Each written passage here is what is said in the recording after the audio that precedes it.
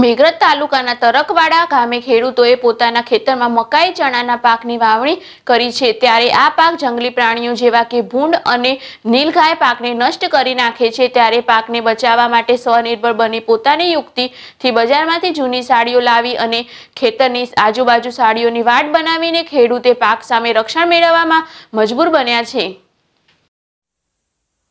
સરકાર આમ તો દરેકને આત્મનિર્ભર બનવાની વાત કરી રહી છે. તો બીજી બાજુ આ વાત ખેડૂતો માટે સ્વનિર્ભર બની રહી છે. જેમાં ખેડૂત પોતાના ખેતરમાં પાકનું વાવેતર કરે છે, પણ જ્યારે પાક તૈયાર થતાં પહેલાં જ પાકમાં નુકસાન વેઠવાનો વારો આવતો હોય છે. જેનું કારણ છે જંગલી પ્રાણીઓ, જેવા કે ભૂંડ તેમજ નીલગાય જેના કારણે ખેતરમાં તૈયાર થયેલ પાકમાં આ જંગલી પ્રાણીઓ દ્વારા નુકસાન કરવામાં આવે છે. ત્યારે વાત કરવામાં આવે તો મેઘરજ તાલુકાના તરકવાડા ગામે ખેડૂતોએ પોતાના મકાઈના પાકને બચાવવા માટે સાડીઓની વાડ કરી પાક સામે રક્ષણ મેળવી રહ્યા છે. ત્યારે ખેડૂતોના જણાવ્યા મુજબ, બજારમાંથી જૂની સાડીઓ લાવીને વાડ બનાવી છે, છતાં પણ પાકને બચાવી શકાતો નથી. ત્યારે સરકાર દ્વારા જે તારની વાડની સહાય આપવામાં આવે છે, તેમાં નાના ખેડૂતોને આ લાભ મળતો નથી, જેના કારણે પાકને રક્ષણ મળતું નથી. ત્યારે સરકાર નાના ખેડૂતોને પણ તારની વાડ સહાય આપે તો પાક બચી શકે છે, નહીતર આ પાકને જંગલી પ્રાણીઓ દ્વારા મોટું નુકસાન વેઠવાનો વારો આવતો હોય છે. વધુમાં અન્ય ખેડૂતે જણાવ્યું હતું કે સરકારે તાડની વાડની સહાય માટે જાહેરાત કરી હતી અને ઓનલાઈન અરજી પણ કરી છે. છતાં હજુ સુધી આ તાડની વાડની કોઈપણ પ્રકારની સહાય કે જાણ પણ થઈ નથી.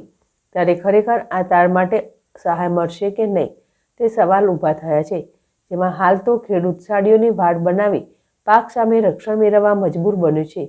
ત્યારે ખેડૂતોની માંગ છે કે નાના ખેડૂતોને તારની વાડની સહાય આપવામાં આવે તેવી માંગ સેવાઈ રહી છે.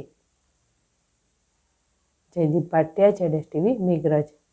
હું મેઘરજ તાલુકાના તરકવાડા ગામનો વતની પટેલ ડાયાભાઈ ધર્માભાઈ અમારી સરકારશ્રીની એક અપીલ હતી કે ખેડૂતોને તાડની વાર જો કરી આપવામાં આવે અને સહાય આપવામાં આવે તો ખેડૂતોએ અમે તો રજીસ્ટ્રેશન કરાવ્યું હતું, દસ જણાએ ભેગા થઈને.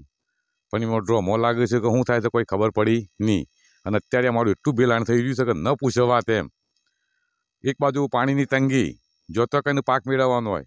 એની અંદર જો આવો જંગલી જાનવરોની આટલી જો મુશ્કેલીઓ રહેતી હોય, તો ખેડૂતને કઈ રીતે સુખી થવું એમ?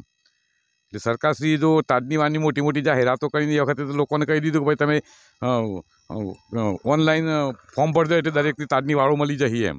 પણ આજ દિન સુધી અમે તો ઓનલાઈન અરજીઓ કર કર જ કરીએ છીએ, પણ તાજની વાળનો કોઈ અમને વળતો જવાબ જ નથી મળતો. અને પાકને બચાવવા માટે મારે કરવું છું. આ મોંઘાભાવના બજારો બજારોમાં વેપારીઓ નાલ થાય છે. સાડીઓ લાવી પર તો વાયર લાવવા પર આ બધું બોધી બોધી અને એ તો આમ તેમ રોજ હની વી પચીને ટોળું ને તૂટી જાય.